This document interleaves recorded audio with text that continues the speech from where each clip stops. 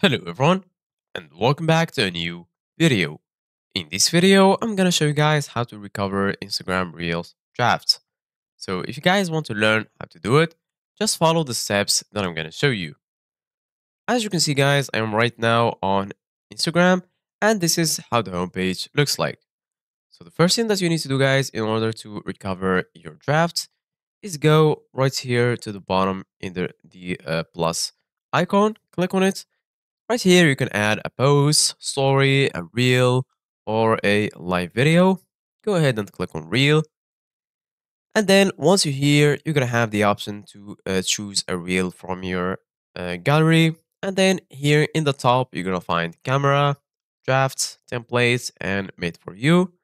So once you're here, all you need to do, guys, is click on the uh, drafts. And then from here, you can add any uh, reel that you want from your draft. As you can see, guys, in my case, I don't have any drafts. That's why I have this message saying no drafts yet. When you save a reel draft, you'll find this right here. So basically, guys, you're going to find this right here, and then you're going to be able to uh, recover it.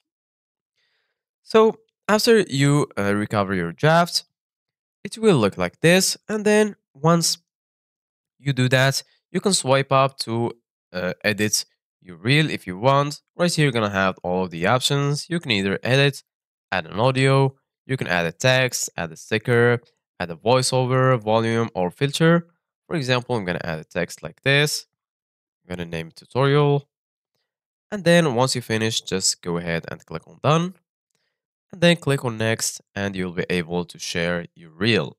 So this is guys for today's video. Thank you guys for watching. See you guys in the next video.